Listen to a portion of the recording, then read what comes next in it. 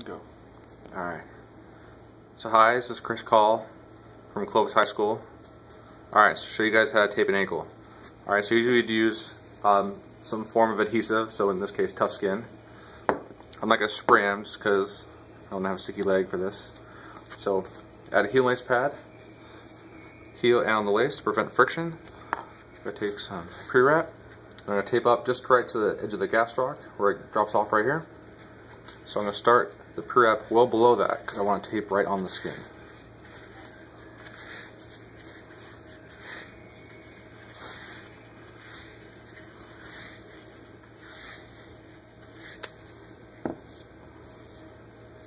So because it drops off right here, it needs a bigger cast, so I'm going to angle it up like that. And don't force the tape, and it'll come right back up. Uh, tape is colored to help you guys show different spots. Going to do three anchors on the top, overlapping halfway. One anchor on the bottom, right on the top part of the arch. Then I'm to do a stirrup, always going from medial to lateral, okay? Always give a lot of tension pulling out. Secure that down nicely in place. I'm to do a horseshoe from anchor all the way around to anchor. Lightly, the horseshoe just holds the stirrups in place. Now I'm going to start fanning, so I'm going to add another stirrup. I'm going to start, in this case, always medial, behind the first one, still hitting the heel on the bottom.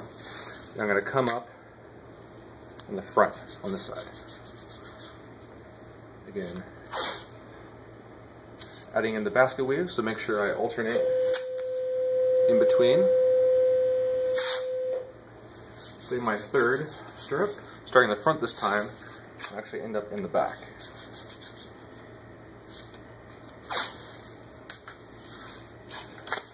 Oh.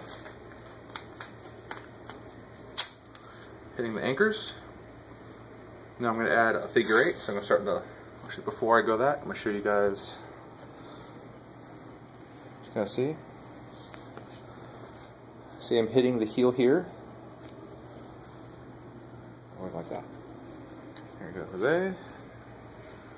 Alright, so the figure eight, start the lateral malleolus, come straight up parallel with the bottom of the foot, and come around. I'm, I'm going to follow that bottom anchor, back up, and around, and there's the figure eight.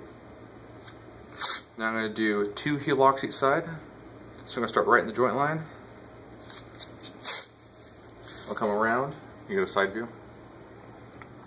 So I come around, following the with the, uh, my hand to make sure that I have no wrinkles in the back. Right back up to start. And for, I'm to alternate things, sides.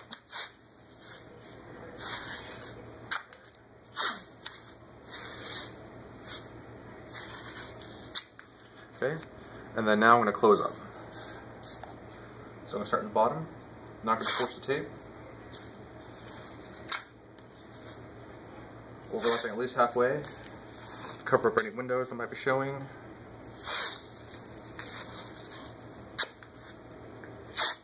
I'm going to start from the top.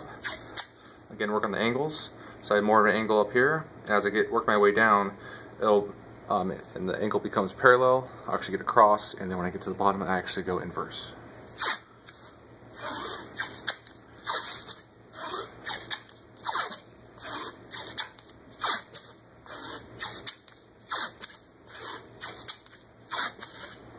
So now I'm to get down here, I actually have to go angle downwards.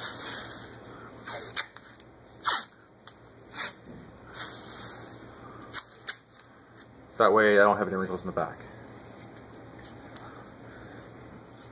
So that is the ankle tape job.